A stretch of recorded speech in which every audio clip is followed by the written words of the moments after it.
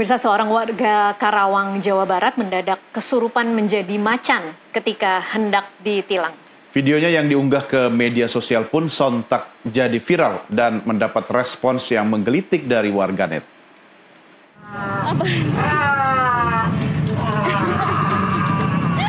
Inilah aksi nyeleneh dari salah seorang warga Karawang, Jawa Barat yang tiba-tiba kesurupan menjadi macan ketika hendak ditilang oleh polisi.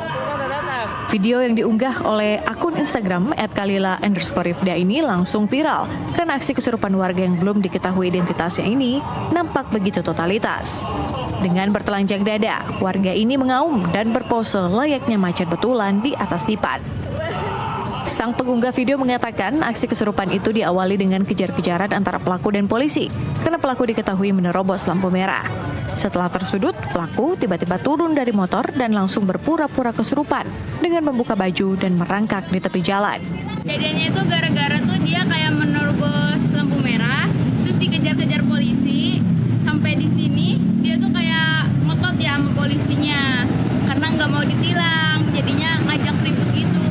Terus iya maki-maki polisinya, ngebentak-bentak polisi, terus sampai itu dia diturunin di situ. Untuk diamankan. Iya diamankan sama warga sama polisi.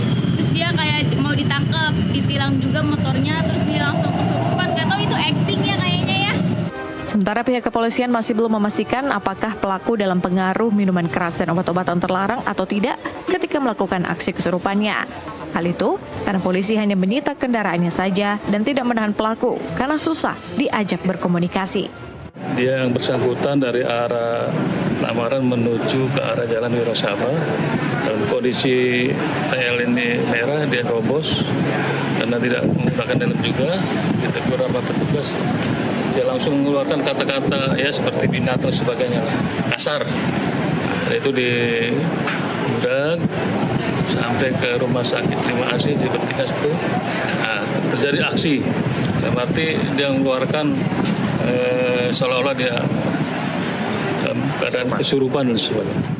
Sementara itu, polisi mengimbau masyarakat agar tetap mematuhi peraturan lalu lintas supaya terhindar dari kecelakaan dan penilangan.